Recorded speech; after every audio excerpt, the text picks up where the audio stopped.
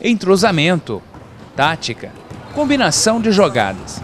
É assim a rotina de treinos do SESI. A equipe foi estruturada em 2007, com os atletas ainda na categoria sub-15. E no mesmo ano, eles conseguiram o título de campeão mineiro do interior e vice-campeão estadual. Em 2009, repetiram o feito na categoria sub-17. Hoje, eles disputam o campeonato mineiro adulto e também o sub-19. A equipe se mostra confiante e unida, mesmo com três derrotas e uma vitória no Mineiro e o quinto lugar na classificação. A pretensão é mostrar sempre um bom jogo e valorizar mais a força tática do que a força física. E ganhar credencial para a disputa do título mineiro no, Campeonato Sub-17 e no adulto conseguir a vaga para a Copa Brasil.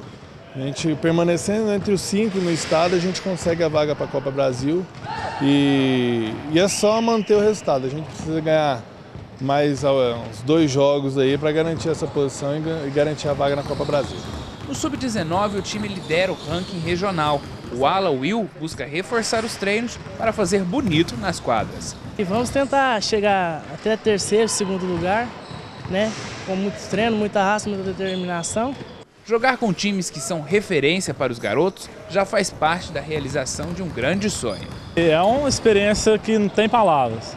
Igual ver caras, igual o Valtinho, Estevam, que ano passado só vi na televisão, nunca imaginei poder estar jogando com eles, igual vou estar jogando na quarta-feira. Para você, o que, que o basquete representa aí na sua vida?